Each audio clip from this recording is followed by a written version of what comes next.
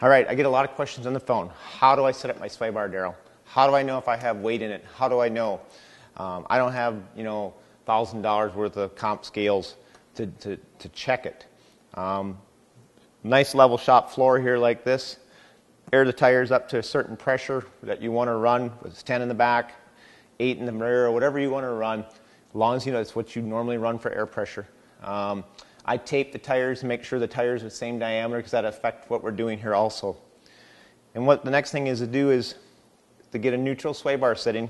The simplest way to do it is the other side I'm using the second from the back hole and I'm doing the same thing on this side is we should be able to take this sway bar link here, we should be able to stick it through this hole without pulling or pushing on the torsion bar. So what we're looking at here is we just stick this thing in there, push it in, that's a neutral sway bar sitting. It's the easiest way to do it without having the scales. If there was weight in the sway bar, I wouldn't be able to do this.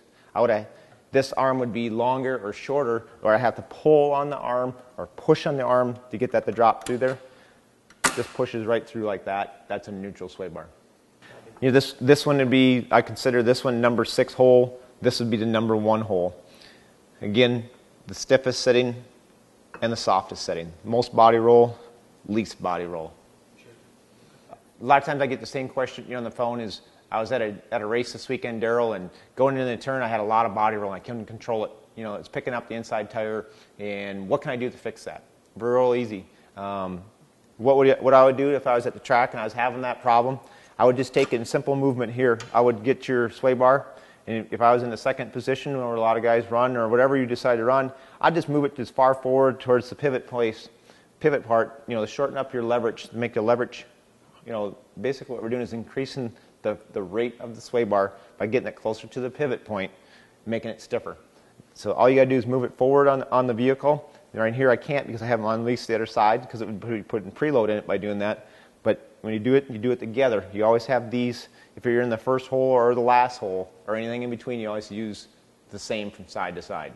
For more information, you can contact us at, at 320-234-7223 or our Rath Racing Facebook page or on our website, rathracing.com.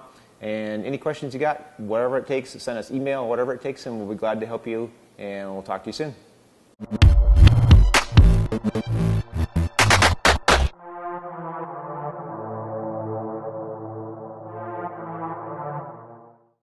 Seventeen, eighteen years at least. In fact, like, can I get on the line? 20 guys? It's awesome.